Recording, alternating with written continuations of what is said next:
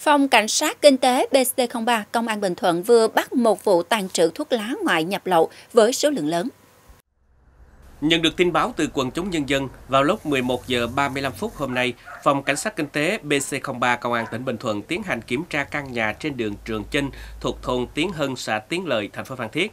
Qua khám xét, lực lượng chức năng đã phát hiện hai kho chứa một số lượng lớn thuốc lá ngoại nhập không có hóa đơn chứng từ đang được cất giữ tại đây. Lô hàng thuốc lá này có 22.370 gói, bao gồm các loại thuốc như Scott, Z, Z vàng, Hero, SC, 3 số 5, do bà Đặng Thị Phương Trang có hộ khẩu thường trú tại khu phố 10, phường Phú Trinh, thành phố Phan Thiết làm chủ, tổng giá trị khoảng 300 triệu đồng. Qua khai thác, bà Trang cho biết mua số thuốc lá này tại thành phố Hồ Chí Minh về bán lại cho các tiệm tạp hóa để thu lời. Phòng Cảnh sát Kinh tế Công an Bình Thuận đã niêm phong toàn bộ số hàng để điều tra làm rõ.